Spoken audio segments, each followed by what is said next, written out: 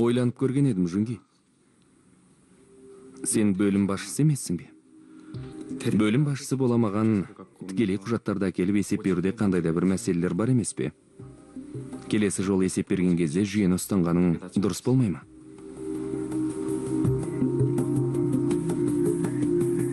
Бұл жолы құжатыңа қол қояйын.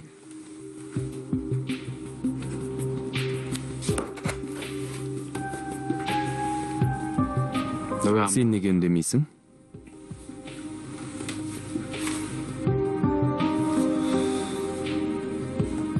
саған қалай жауап берейін досың ретінде ме әлде қызметкерің ретінде ме досым ретінде мен шынымен де сенің досыңмын ба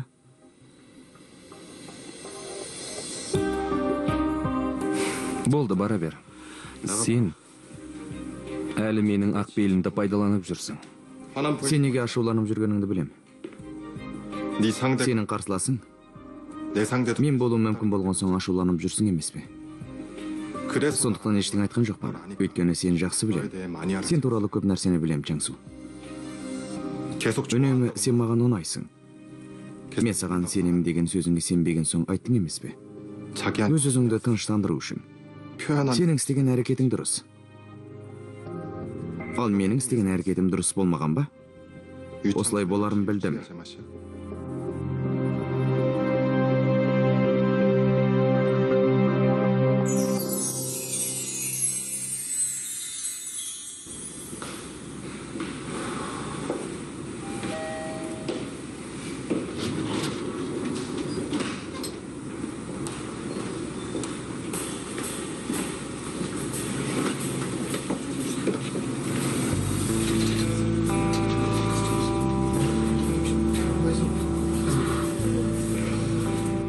ей бұл рас па нені айтасың.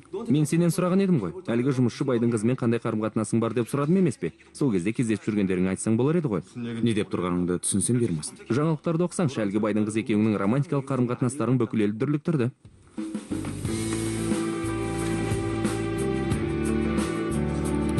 Ноттинг фильм ақиқат болайын деді ме байдың қызы мен қарапайым жігіттің романы?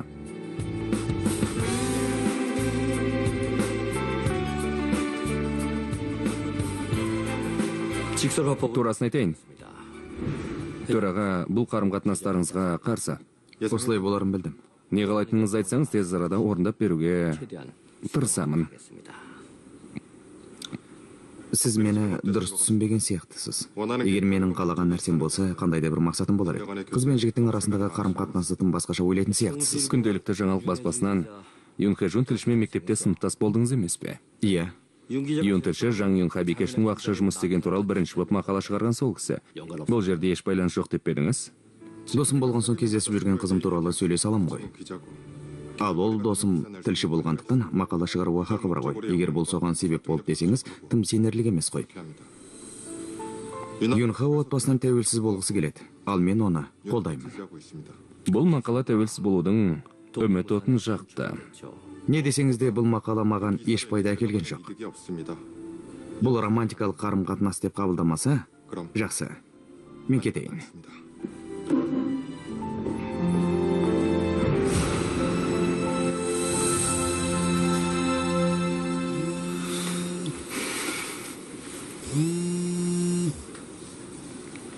Алло.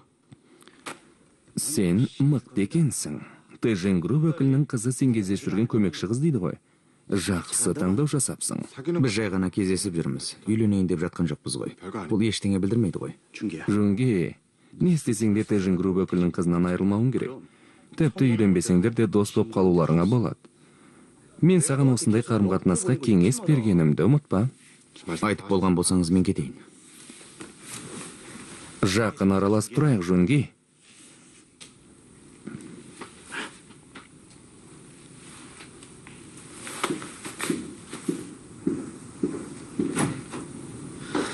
Жүнге чаңсу енді өз қолдауынан айырылады. Барып оны жұбатып қайтуым керек сияқты. Ендігәрі мұндай әрекетке бармайтындай етіп.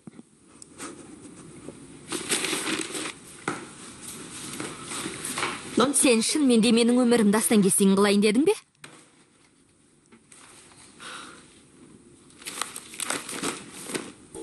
Ноттин хилл фильмі ақиқат болайын деді ме?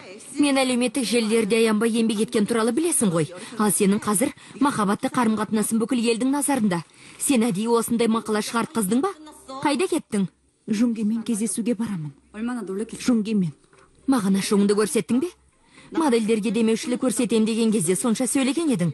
Ал өзің уақытша жұмысшыларға көмек көрсетіп мақтандың ба? Ол кез келген модельден сымбатты да бойы да ұзын тартымды. Сен кездесіп жүрген жігіттермен салыстырушы болма. Ол жігіт шынымен де сені ұнатқан соң кездесіп жүр деп ойлаймысың? Онымен жұмыс істеп жүрген кезде кездестім. Ол менің қандай отбасының қызы екенін білген жоқ. Ол жігітпен кездескен кезде ештеңеге қарамастан ұнаттым. Оған тұрмысқа шығатын ойың жоқ емес пе? Өз атыңды шығару үшін пайдаландың. Ол маған ұсыныс жасаса тұрмысқа шығар едім ал егер осылай жалғасатын болса үйленейік деп өзім айтуым керек шығар.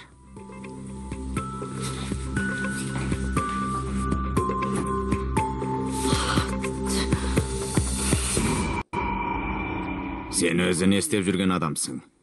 Кешіріңіз. Оған ішімдік беруші болма деген жоқпын ба? Кешіріңіз.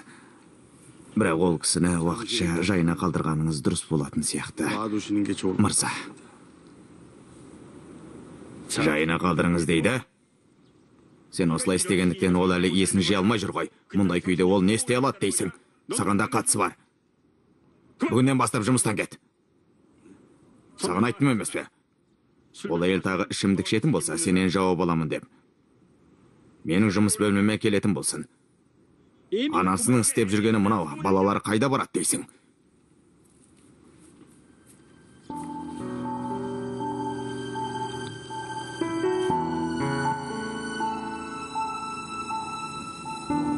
ажырасайық. Сен сияқты адаммен енді бірге тұра алмаспын. Күніне жүз рет ойлаған едім. Енді бұл менің қолымнан келетін сияқты. Сені жек көре шаршадым.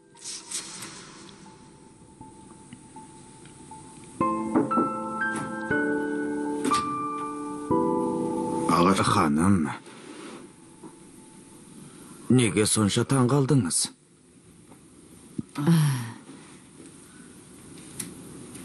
Ойланып кетіппін. Төраға мені іздеп жатыр ма иә.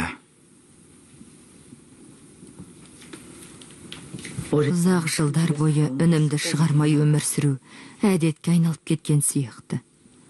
Ішімдік ішіп алған кезде ойымдағының бәрін айтып тастап жақсы ұйықтаймын. Ұйықтап тұрған кезде бойымды үрей алады. Ханым не болды. Марқұм анаңыз қазір бұл түріңізді көрсе айтайын дегенім апа. Әке сендерді сағындым. Сіз жиырма жасыңызда сондай ақылды әдемі болған едіңіз. Есіңізде ме ханым?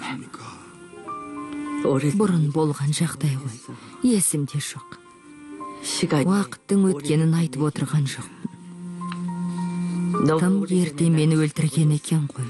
Сондықтан мұндай қуанышты күндер болғаны есімде жоқ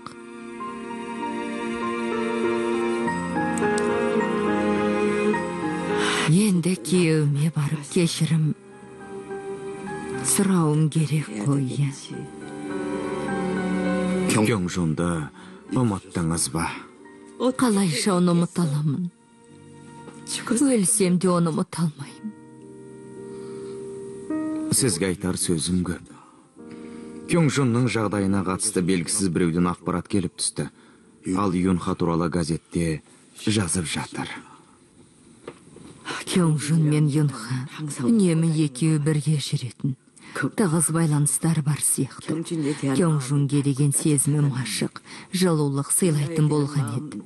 Ал юнханың алдында жауапкершілік сезінген соң жаным ауыртпалықты сезінеді. Өз өзіме ашулымын. Бүгін бұл менің сізге берген соңғы есебім болуы мүмкін. Бұл тағы не дегенің егер сіз қайта ішімдік ішетін болсаңыз 저 мені жұмыстан шығарып жіберемін деп ескерткен болатын. Ұшақ түскен соң күйеуің тіркеуден өткен екен. Төрағамен сөйлесіп қайтқан соң есеп бересіз ханым болды доғарыңыз.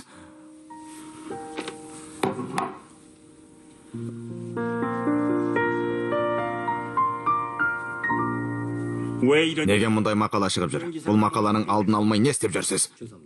Кешіріңіз мақаланың алдын ал. Қазіргі кезде бір рет шыққан мақаланың алдын алатын болсақ басымыз бәлеге қалатын болады. Мұндай мақалалар тап жұлдыздарға қатысты қауесет сияқты. Сондықтан адамдардың қызығушылықтары көп. Қандай да бір әрекет істейтін болсақ керісінше күмән келтіріп аламыз. Жоқ бұның да шегі болу керек қой. Қорқыту жұмыс қалай жүріп жатыр? Жан юнха бикешпен айырылысатын болсаң қалағаныңды берем дегеннен бас тартты. Өзі тәкаппар және ақылды жігіт сияқты мақала шыққан соң енді қандай әрекет ететінін білмейміз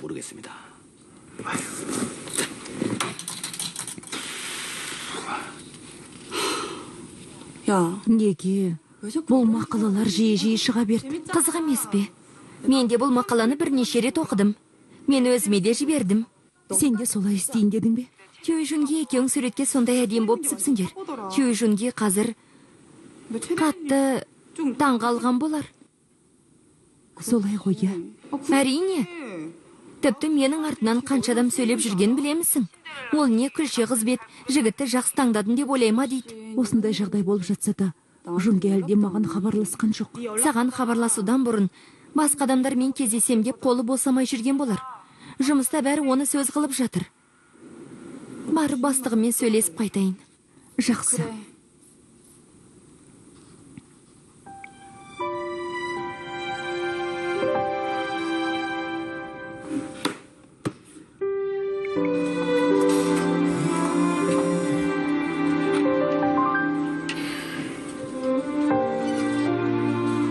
Бәрі дұрыс па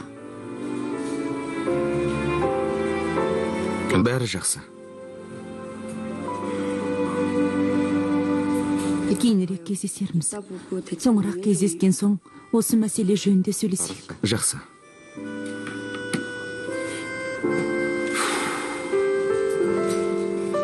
бүгінде жақсы жұмыс істедіңдер. Иә иә. Мырза? О жи отыр. Не болды? Мен жұмыстан кетсем деймін. О жоқ кетуіңе болмайды. Бұл тағы не істегенің жиі бикеш? Бұл не істегенің а? Не дейсіз? Құрбың мен оның жігіті дәулетті отбасынан болған болса мен де дәулеттімін деп ойлаймысың неге жұмыстан кетіп барасың? Бұлай жалғасатын болса сені нақтың өзені жуып алып кетеді. Басқа жұмыс таптым. Қандай жұмыс? Юнханың фирмасына жұмыс істейтін болдым. Ол жер мен бұл жердің не айырмашылығы бар? Жалақының айырмашылығы бар ғой. Солай ма? Олай болса кетуің керек қой. Ол маған жыл бойы еңбек ақымды олай болса ол жерде де уақытша көмекші болып жұмыс істейсің бе? Жоқ ресми түрде жұмыс істеймін. Тым артық кеттің. Сенің қолыңнан бірдеңе келеді деп ойлайды ғой. Қолыңнан келетін нәрсе көп қой өте көп сонда да құрбыңның қол астында жұмыс істейтін болсаң қатты күйзеліске түсесің ғой. Солай ма? Оның қол астында емес бірдей қарым қатынаста боламыз. Ауызбен ғана солай дейді. Шын мәнінде солай болады деп пе едің? Сондықтан сол жерде істеп көрсем деймін. Егер болмайтын болса сізге айтармын маған ба? Бұл әлі аяқ емес. Тағы кездесерміз дегенің бе? Әрине.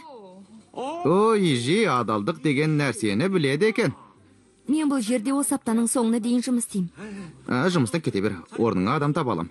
Жаңа жерде жұмыс істейтін болсаң дайындау керек шаруаларың көп емес пе? Рахмет мырза. Тұра тұра. Бұның құпиясын ашшы. Бұл өмірде тіпті бір рет көрудің өзі қиын болатын бай адамды екеуін бірақ қалайша кездестірдің? Сондықтан мен де бұл қалай болды екен деп кейде ойланып қалам. Ойланып көрген едің сонымен мейірбан болған соң ғой. Мейірімді болған соң жолым болған сияқты. ақылға қонбайтын нәрсені айтып тұрсың олай болса менің анам өмір бойы байлармен стақан соғыстырып ішімдік ішереді ғой. Анаңыз ішімдік ішкенді жақсы көре ме? О жақсы көреді. Сондықтан мен әлі үйленбей жүрмін ғой. Үйленбей жүрмін емес үйлене алмай жүр екенсіз ғой. Біліп қойдың ғой енді тіпті чаңсу мырзамен айырылысып кетсең де мұнымен әлі бітпейді.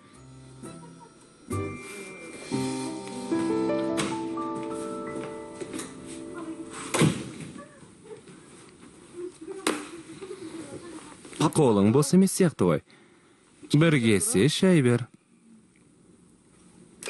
Бір кесе кофе әкеп беріңіз. Сен ішпеймісің спортпен шұғылданған соң іштің жунги жігітіміз өзі мықты екен. Сен де бұны біліп пе едің? Тжин групп өкілінің қызымен кездесіп жүргенін? Білмеген соң осы уақытқа дейін бірге жүрдіңдер ғой. Желкеңнен ұрғандай болды ма? Байқаймын жунгиге деген қызығушылығың көп сияқты ғой. Тжин групп өкілінің қызы біздің сауда үйінде көмекші болып жұмыс істеді дейді. Ол сен кездесіп жүрген қыздың құрбысы екен. Сен кездесіп жүрген қыз байдың қызы ма? Сұрағың да тым көп екен аға. Адамның жасы келген сайын ең бірінші сөзі көп болады деуші еді. Бұл сенің істегенің бе? Фирманың несие картасын жеке басыңа пайдаландың ба? Дерматологқа да бардың ба? Брендті сөмке сатып алғансың ба? Әйелдердің сөмкесін алғанбысың? Аға жеңешем саған жақсылап ұрысу керек сияқты. Әкем мұндайды ұнатпайтынын білесің ғой. Ей! Иә әке тыңдап тұрмын. Ағам осы жерде. Жақсы түсіндім аға әкем саған қоңырау шалыпты ғой. Жауап бермедің бе? Неге жауап бермейді екенмін жиналыста болған соң жауап бере алмадым. Мен шынымен де әкем саған ұрысқанын қаламаймын. Бар әкем сені кеңсесіне шақырып жатыр.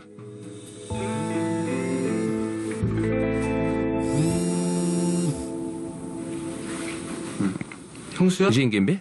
Неге жауап бермейсің? Алдын ала ұрыс естіп алғаның жақсы емес пе? Сенің жеңешемнен ұрыс естігенің шынымен де ұнамайды болды доғар. Сен түлкі сияқты өте қусың бала кезімізде де бәрін әкемізге жеткізіп салатын едің ғой. Әкем мен апам көрмей тұрғанда мені ұрып алушы едің ғой. Енді не істейтін болды? Біздің чаңсу сенген дос өзіңді сатып кетті. Саған айттым емес пе? Одан абай бол деп. Ол сенің осал тұстарыңды жақсы біледі. Я оны қуып шығара алмайсың я жақын ұстай алмайсың. Қиналып жүрген боларсың сенің осал тұстарың менікінен де көп сияқты. Мен оған бұйырған болатынмын.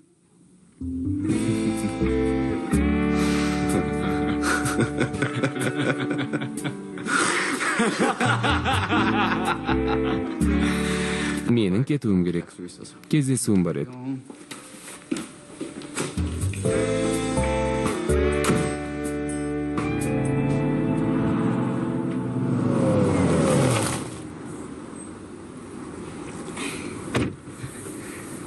Түскі ас уақыты аз емес пе? Осылай сыртқа шығып қайтуымызға бола ма? Жұмыстан шығып кеттім.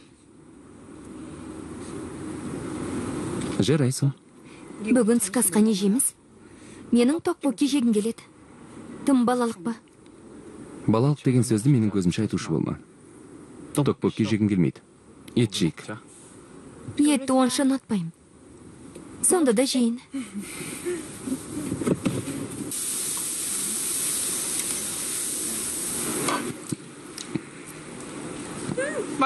Дәмді екен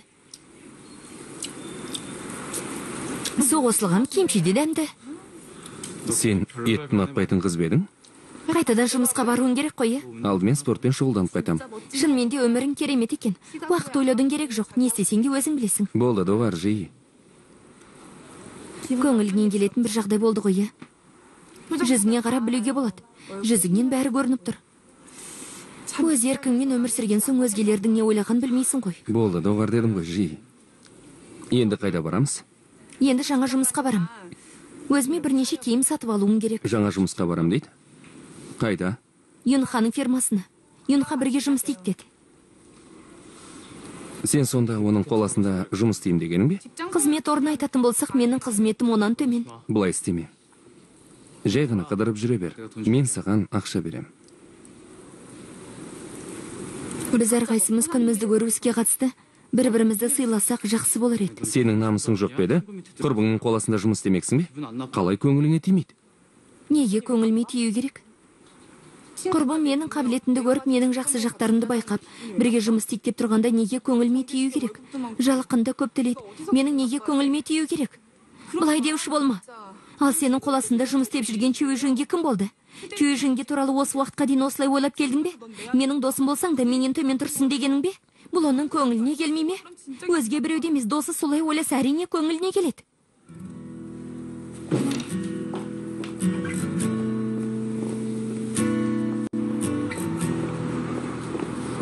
Ей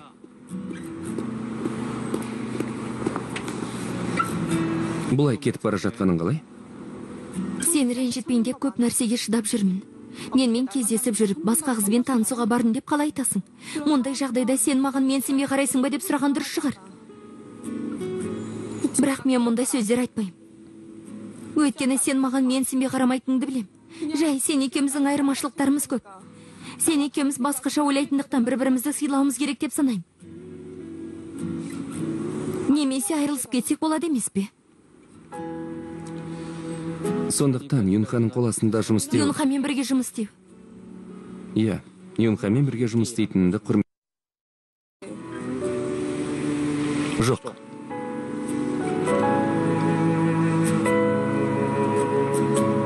Жақсы түсіндім.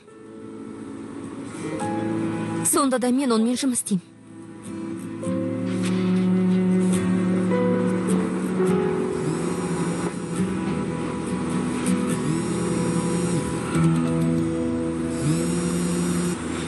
Не болды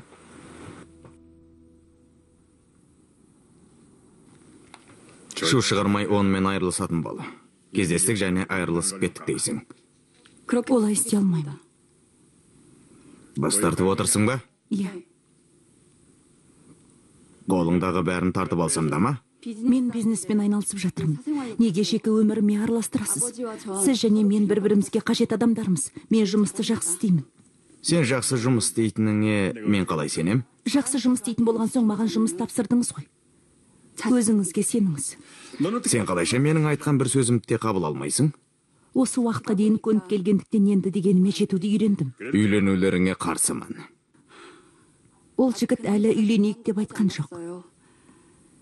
Мен ол жігітке тұрмысқа шыққым келеді. Бірақ оның ойы жоқ сияқты. Үйленуіне ме?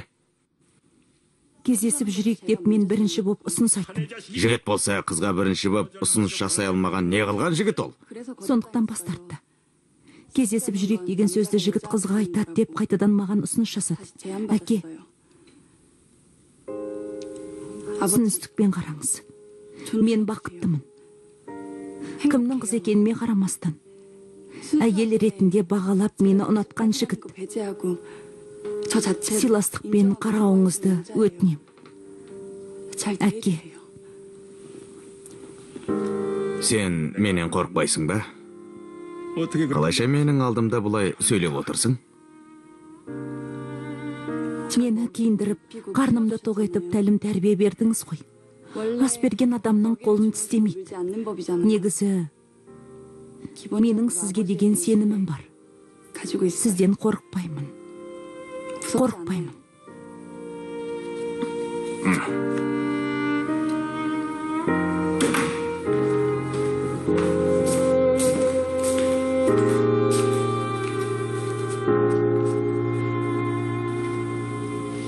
сенімен содан соң сөйлесем. Бүгін істейтін жұмыс тым көп.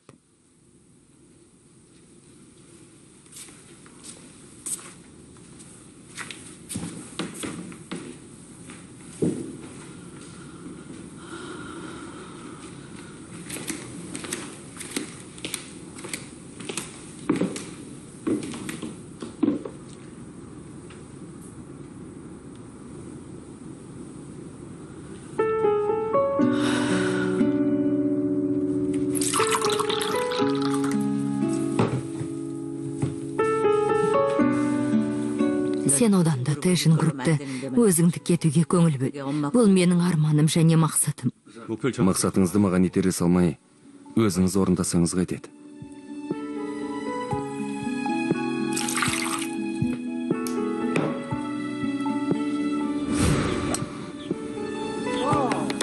Жақсы соққы. Баспасөзде айтылып жатқан сөздерге көңіл бөлме. Көңіл бөліп жүрген жоқпын. Бизнесте тапшылық артықшылық та кездеседі. Соның арқасында пайда түсіру жолдарында үйренесің. Баспасөзде айтылған сөздер қазіргі нәтижені айтып отыр ғой. Қазір сол қателіктерді түзеп жатырмын. Сондықтан өз өзіңе баға беріп жатқан сияқтысың. Е он туралы жаңалықтар үнемі оң болады. Әпкем екеуміздің атқарар міндетіміз әртүрлі ғой. Біздің фирмада ресми түрде 5230 жұмысшы істейді. Уақытша жұмысшылар және оның отбасылары бар. Бұның бәрін қарастыратын болсақ иығымдағы ауыр жүк қой. Сол иығыма жүктелген салмаққа берген баға. Жақсы. Кейде қарапайым отбасынан шығып ілім білім алған болсам қалай болар еді деген ой келеді. Мен де солай ойлаған болатынмын. Жақсы отбасылы қарым қатынас тату тәтті өмір сүру. Бірақ бізге берілген өмір осы. Соны айтам. маңдайға жазылған өмірді сол күйінде өмір сүру керек. Бірақ кейде керісінше өмір сүру дұрыс па деп те ойлаймын.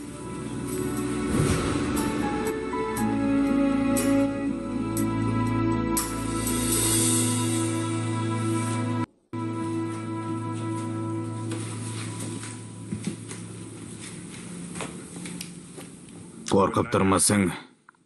Сені шақырған едім енді келдің бе? Неге бұлай өмір сүріп жүрсің? Сырттай мүлікті басқаруыма неге келісіміңді бермейсің? Бұны тезірек реттеуіміз керек.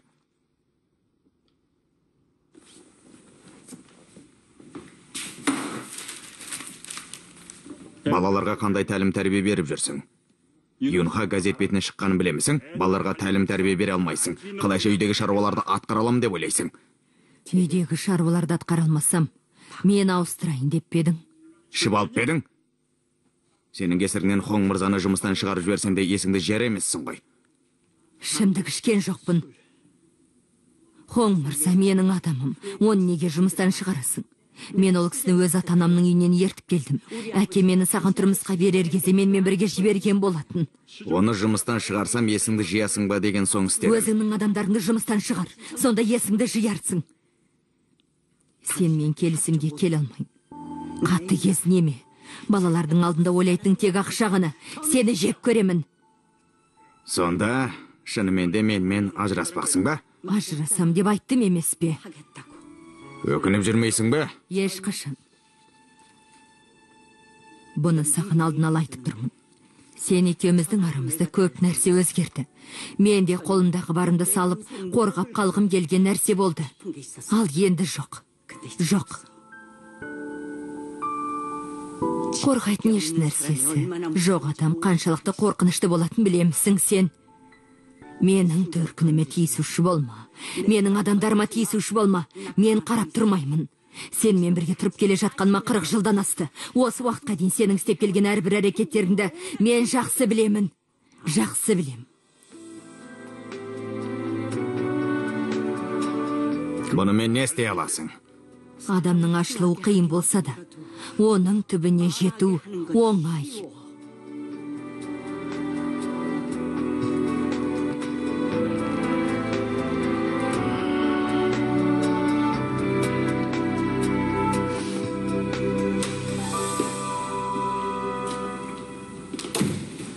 Неге жұмысқа келіп алып мені шақырдың?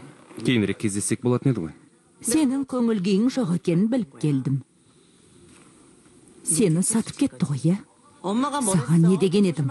Онан абай бол дедім ғой. Біреумен дос болатын болсаң өзіңе тең дос таңда деген жоқпын ба? Болды доғар юнхаға не болған өзі саған өзі бірінші болып қоңырау шалды емес пе? Екеуіңмен бірдей кездескені ме сенің бұл ойың көңілімнен шығар емес.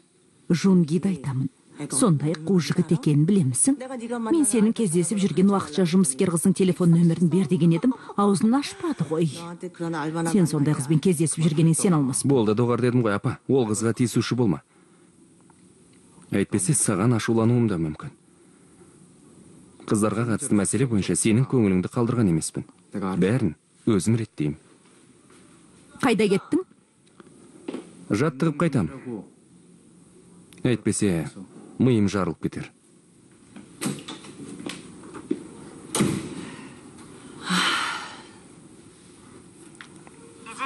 ижи жұмыстан шығып кетті дейді байланыс телефон нөмірін біліп бер. Жақсы. Әлде чаңсу ол қызды өзінің қамқорлығына алды ма екен?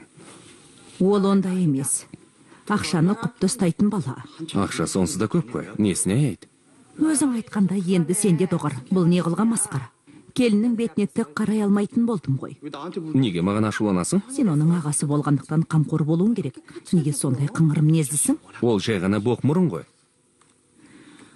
Сенің хатшың асықпай жұмыс істейді екен. Әлгі қыздың телефон нөмірін біліп бер дегенін қашан әлі таба алмай жатыр ма?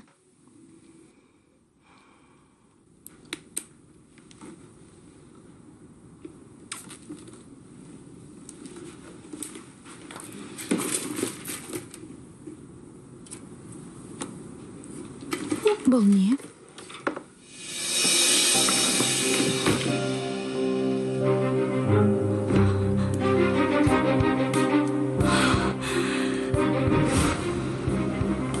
бұл не? Маған бір жағдай болатын болса сен іздеп тауып ашатын бол.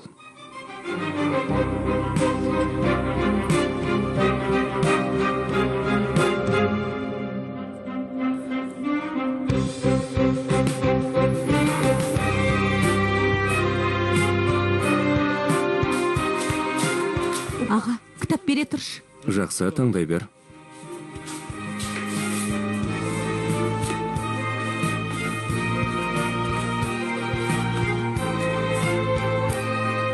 Мәссаған қарай көр аға сенің сейфің осы жерде екен ғой. Сен болған соң көрсетіп тұрмын.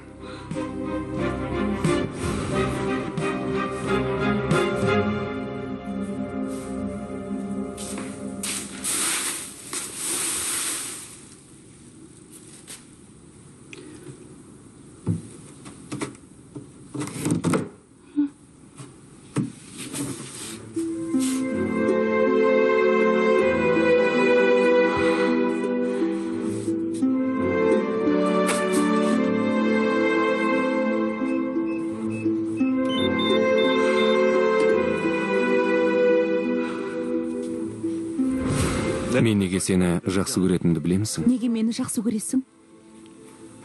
Сен өзіңді өзің құртуға талай мүмкіндігің болды. Оның үстіне ақшаң да көп. Сонымен. Бірақ сен өз өзіңді құртпай өзіңді әрі қарай дамытуды таңдадың. Мені түсінгенің үшін рахмет. Бұл ерекше қасиет. Жүрек қалауын қорғау бұл қаншалықты қиын екенін білемісің? Әкем жас кезінде қайратты өршіл ұмтылыстары көп болатын. Әділетті де болған еді. Ал қазір қандай? Анам шынымен де жақсы кісі ғой. Бірақ ол кісі өздігінен даналығынан айырылды. Адамның рухы шеберлігі болып табылады. Бұл жай ғана рух бола қойған жоқ. Сондықтан сенің рухың мықты. Олай болса сенің де қабілетің мықты ғой. Соңғы кездері менің қабілеттерім нашарлап барады. Айтпақшы сен мен туралы тағы бір нәрсе білуің керек. Мен құпия код ретінде 0070 сандарын қолданамын.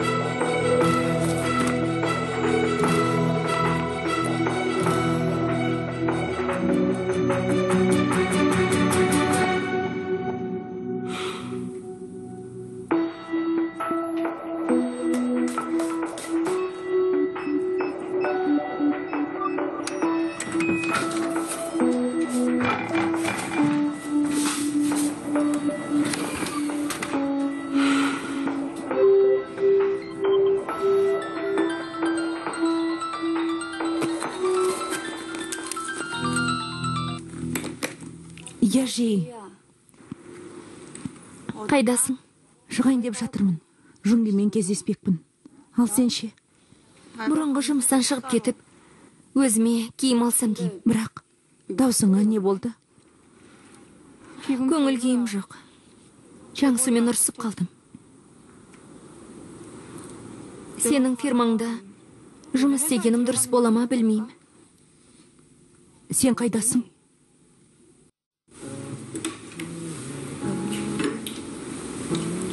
Анамнан алған болатынмын тек есім хатты қалдырып кетіп сізбен хабарласпасам сенімсіз адам болып көрінем бе деп ол кісі уайымдады жаң еуон ханымды айтамын ол кісі неге менімен кездескісі келеді тжин группы осыдан бірнеше күн бұрын кеңейтілген болатын еон ханымның жаңа дарынды адамдарды жинап фирманы қайта жандандыру жоспары бар біздің агент арқылы юмен сауда үйінің жоспарлау бөлімінің негізгі басы ретінде сіз туралы ақпарат алған болатынбыз мырза бұл тым асыр айтқаны не дейсіз университетті аяқтаған соң мені жұмысқа алған жалғыз жер ол юмен сауда үйі сіздің агентіңіз мен туралы мұндай ақпарат алу мүмкін емес. Мен әлі күнге дейін менеджердің орынбасарымын. Сіздің агентіңіз менің қабілетімді біле алатындай аз уақыты болды ғой. Кешіріңіз мен таяз ойлаған екенмін. Мен сізге ауыртпалық салмайын деп өзіңіз таңдау жасай алатындай болашаққа деген көзқараспен айтып отырмын. Ал жеке басқа қатысты қандай келешегі бар? жан еон ханым жан юнханың әпкесі. Жан юнха қандай жігітпен кездесіп жүрген уайымдап сіз туралы мәліметтерді біліп бергенімді қалады. Ол кісі сіздің қабілетіңізге риза болды. Бірге жұмыс істесек жақсы болар деді. Сондықтан мен әрекет еттім.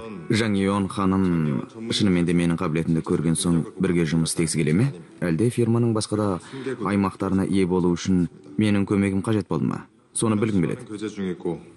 Біз юнха екеуміз жаңадан бір бірімізді танып келе жатырмыз екі жастың арасында әртүрлі жағдай болады демекші айырылысып кетуіміз де мүмкін ғой. Өз фирмаларыңызға мені тартатындай бұның нақты қандай себебі бар екенін білгім келеді. Егер мен нақты дайын болмайтын болсам еш әрекет істемеймін.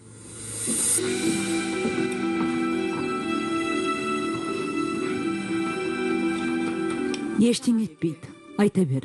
Сіз тамақ ішіп отырсыз ғой? Мен неге жалғыз тамақ ішкенді жақсы көретінін білемісің тамақ ішкен кезде ойымды жинақтай аламын чужинге кездесу қалай өтті? Егер ұсыныстың шарттары келетін болса ол әрекет ету мүмкіндігін ашық қалдырды. Шарт дейді. Қандай шарт? Мәселе ақшада болар. Солай ма?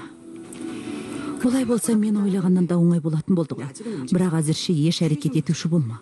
Не істейтін көрек юнха шынымен де чужингеге тұрмысқа шығатын болса оның маған пайдасы тиер әйтпесе керек емес. Жаң юнхан бикешті қоспасақ та ол дарынды жігіт.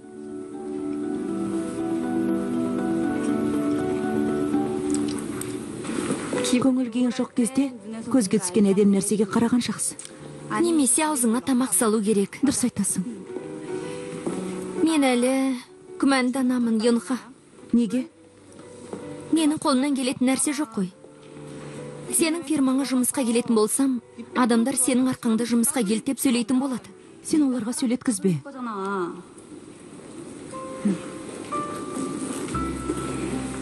Жиі адамның рухы шеберлігі болып табылады. Не? Осы уақытқа дейін өміріңде әртүрлі қиын сәттер көп болды. Анаң мен әкең ажырасқан кезде де қиындық көрдің өзгелер барған университетке де бара алмадың. Жұмыс таба алмай жұмыссыз жүрген кезде де ылғал тартатын бөлмеде тұрсаң да еңсеңді түсірмедің.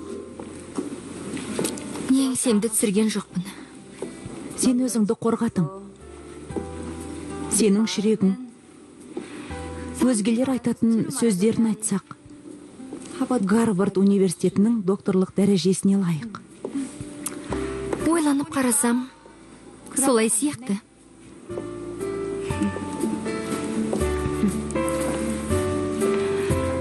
о анау әдемі екен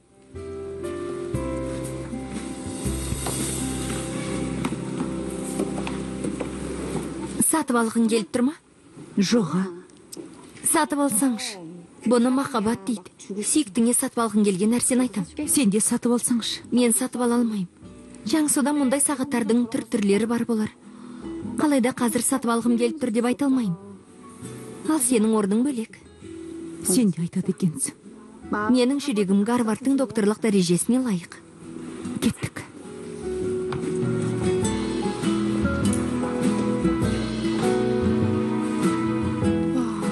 Чуи шунгеге осы жарасатын сияқты. Осыны беріңіз.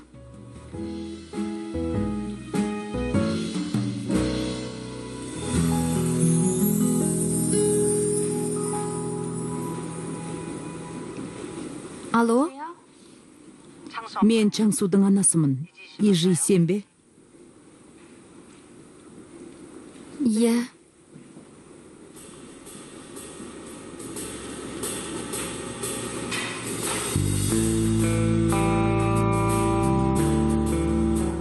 сен неге ашуланып жүргеніңді білем. сенің қарсыласың мен болуы мүмкін болған соң ашуланып жүрсің емес пе үнемі сен маған ұнайсың мен саған сенем дегенің өзіңе сенбеген соң айттың емес пе өз өзіңді тыныштандыру үшін сенің істеген әрекетің дұрыс ал менің істеген әрекетім дұрыс болмаған ба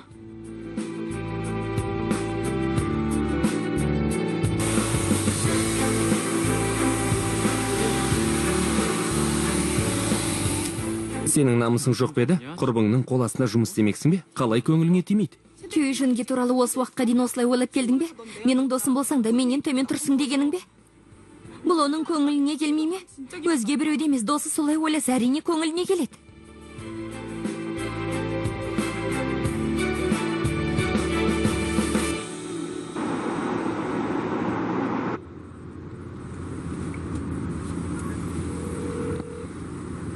Иә не болды? Саған айтар сөзім бар. Қазір айта бер. Кездескен кезде айтқым келеді.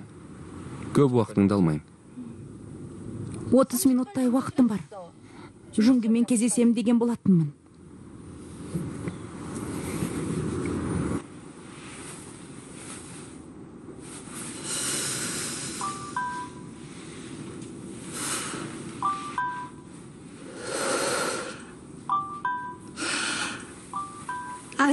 Апай. Телефон шырылдап жатыр ғой. Бар да көрсеңші. Көп жаттығып қойдым.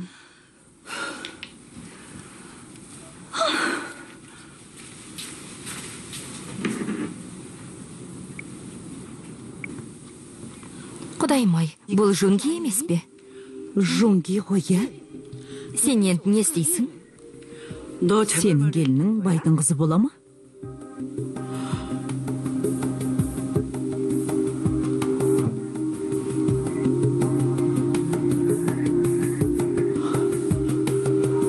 Төраға мен оның әйелі ұрысып қалғандары рас па? Дұрыстап айтшы. Хесу зардап шекті ме? Жоқ. Соңғы кездері ол кісі өз өзіне ұқсамай жүр. Жақсы. Эон қалай? Үйіне көшіп барды ма? Үйінде ремонт жасап бітірді. Ертең көшіп келеді соңғы күндері маған бір сөмке ұнаған еді. Саған да біреуін сатып алып қойдым. Олар ұрысып қалды де.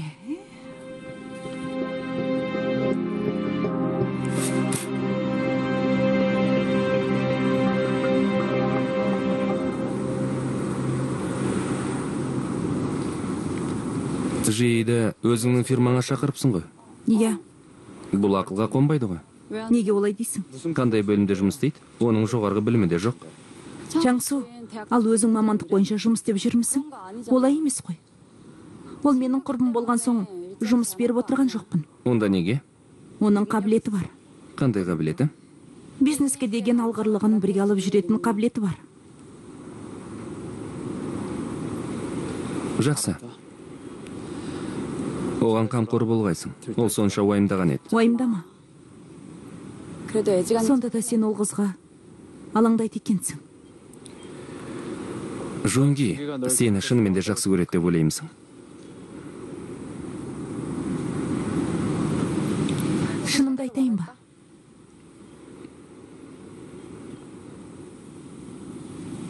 Кейде мен түсіне алмайтын маған көзқараспен қарайтын кездері болады. Бұл қыз не істеп тұр? Оның айналасынан 야, шыға алмай қалдым ғой дейтін сияқты. Сен де айтады екенсің. Егер жунги әдейі арам оймен саған жақындаған болса онда не істейсің? Олай болуы мүмкін емес. Оған бірінші боп жақындаған мен. Солай ма? Мен кетуім керек. Кешіктім. Ja.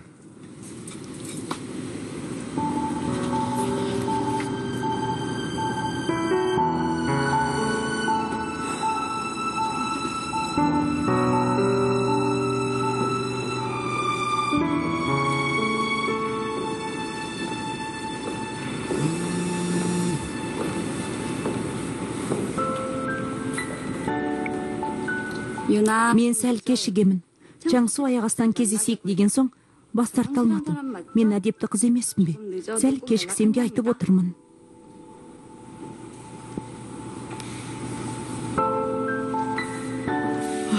Құдайым ай енді не істейсің? Екеуіңнің араларыңдағы айырмашылық сондай үлкен.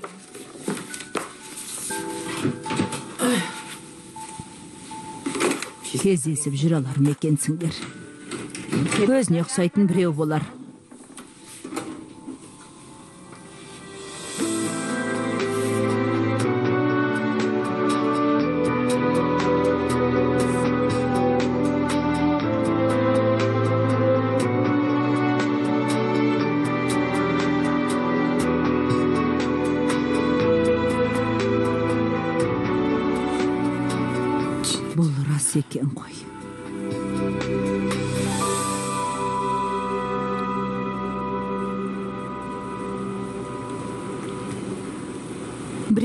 тұрсыз ба иә yeah. бойы 170 сантиметр екінші кеуде мөлшері бар біреуді күтіп тұрмын бұны естіп пе жігіттер мұндай әңгімені кез келген жерде естиді саған айтар сөзім көп талқылайтын әңгіме де бар еді ал мынау саған сыйлықты осылай аяқ астынан беріп отырған адамды бірінші рет көріп тұрмын. Егер салтанатты түрде сыйлайтын болсам бағалы зат па деп сыйлықты қабыл алмауың да мүмкін ғой. Қалай? Болады жай ғана бола ма? Жақсы. Жаман емес. Әкел қолыңды.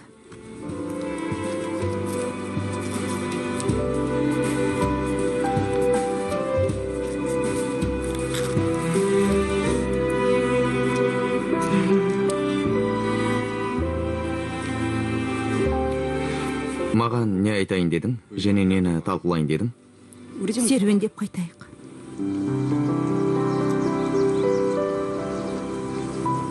Айтайын дегенім сенен кешірім сұрағым келді. Менің кесірімнен баспасөз сені сөз қылып айналаңдағы адамдар әртүрлі әңгімелер айтып жүрген болар. Алаңдаймы тура қарап жүрсеңші әйтпесе құлап қаларсың. Құламаймын. Өзіңмен ақылдасайын деген нәрсе. Ағам маған қалдырып кеткен акциялар мен флешканы тауып алдым флешканың ішінде не бар? Үйге барған соң көрсем деймін. Қалайда бұл іс бірден шешіле қалмайды ғой. Акцияларды тауып алдым дегенің не? Ағам жоғалып кеткеннен кейін өліп қалды деген сөзді қолданғым келмейді. Жақсы. Ағам менің атыма фирманың екі пайыз акциясын сатып алғанын білдім. Бұл мүмкін емес қой. Ағаң фирманың басшылығында ғой. Егер акция сатып алатын болса ресми түрде бәрі жария болатыны анық бұны ешкімге білдірмей сатып алу мүмкін емес соны айтамын бұл мүмкін емес қой үшінші адам арқылы істеу мүмкін үшінші адам ағаң өлгеннен жоғалып кеткеннен кейін саған беріп кетуі мүмкін ғой мен ерекше ара қатынастамын ғой егер акцияларды сатып алатын болсам ресми түрде жария болар еді ғой. Үшінші адам ағаң жоғалып кеткеннен кейін акцияларды саған беруі мүмкін ғой.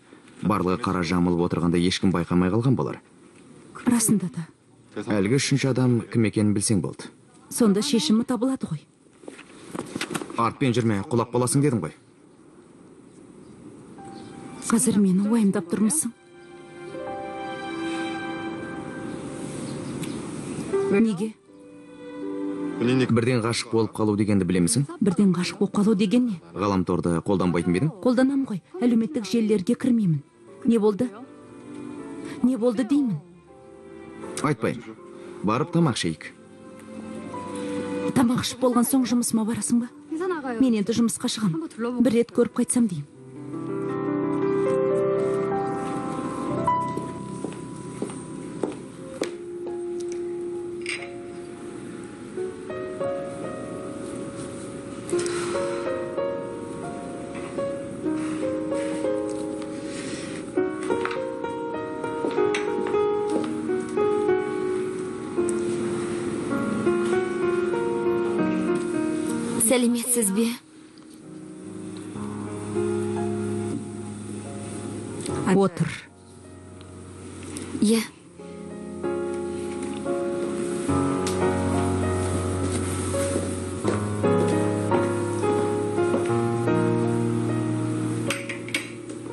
Мен алдын ала тапсырыс беріп қойдым.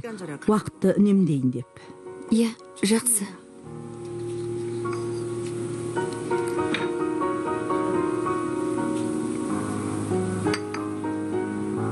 Мен ұлыма олай істе бұлай істе деп жеке өміріне араласатын адам емеспін. Иә. Бірақ бұл жолы ол біртүрлі болып жүр. Бұрын соңды істемеген қылықтарды істеп жүр. Сиырдан айырылған соң бірақ қораны жөндейді деген жағдайдың алдын алу үшін алдын ала дайын болғаным жақсы ғой. Иә екеуіңнің араларыңда бірдеңе болуы мүмкін емес екенін түсінесің ғой. Сен егер университет аяқтаған болсаң мен бұл жерге келмес едім. Ханым пак мёң суды білесіз бе? Күлдіргі актерді айтам. Білемін. Пак мёң су ағай да тек орта мектепті бітірген. Қазір білімін жетілдіріп алса да орта мектепті ғана бітірдім деп айтып жүр. Неге? Пак мёң су ағайға тек орта мектепті бітірдім деп айтқан ыңғайлы болған ғой. Оның үйі де бар әйелі де дәрігер.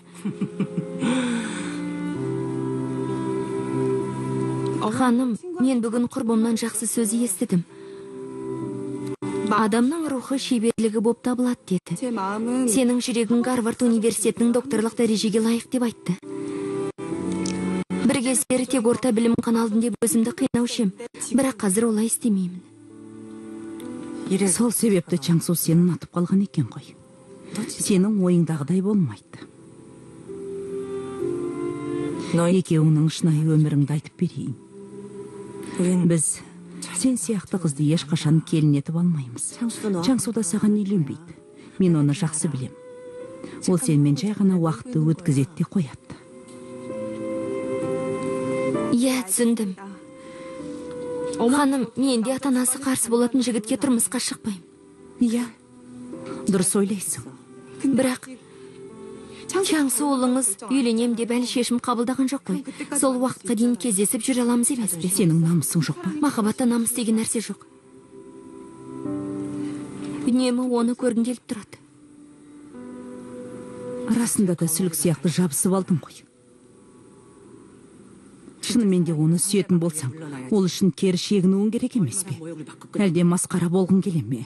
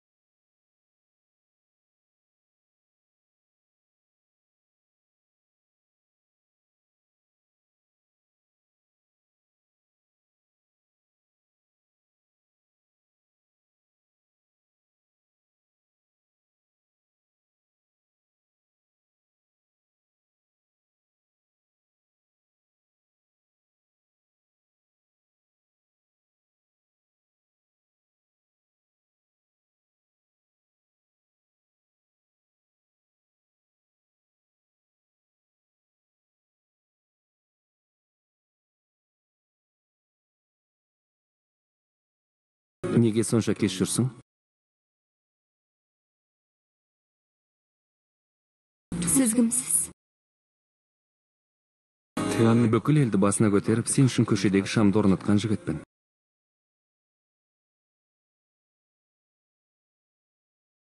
Не болды?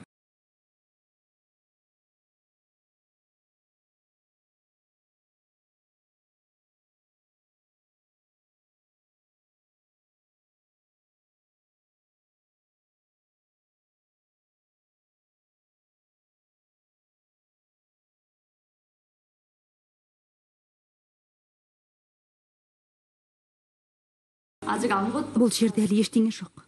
Бұл жер ойлағаннан да тар екен. Бірақ сонда да ерекшетіп жасаған сияқты. Бөлім басшыларына бөлме береді деп ойламаймын. Дұрыс айтасың. Бөлім басшыларына бөлме бермейді. Осы жерден бастап қызмет бабымен әрі қарай өсе бер. Қайда өсемін? Бұдан да жоғарғы қызмет орнын қаламайсың ба? Мысалға директордың орны демекші. Жоқ ағама қатысты істі шешсем бірден бұл жерден кетем. менің көздегенім қызмет орны емес.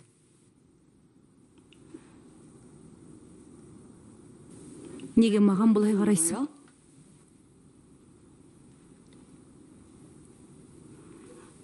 Кейде маған бейтаныс көзқараспен қадалып қарайтыныңды білемісің? Мен бе? Иә. Сондықтан осылай болған әр сәтте былай істегім келеді.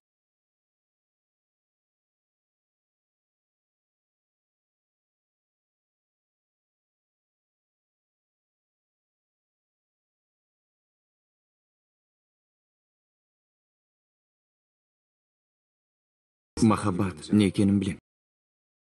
Үміт етуге болмайтын жағдайда күлімсіреп қарау қатыге шынайы өмірде жарық беру дегеніміз махаббат.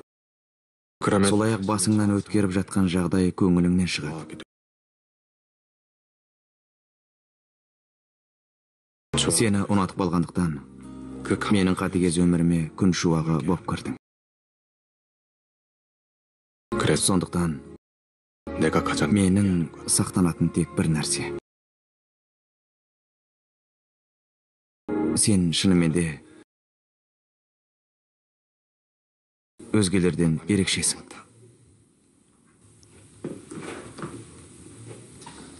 Сондықтан саған ұнамай ма?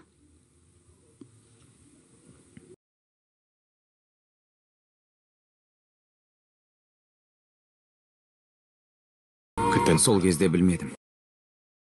Мен әлгі шектен өтіп кеткенімді.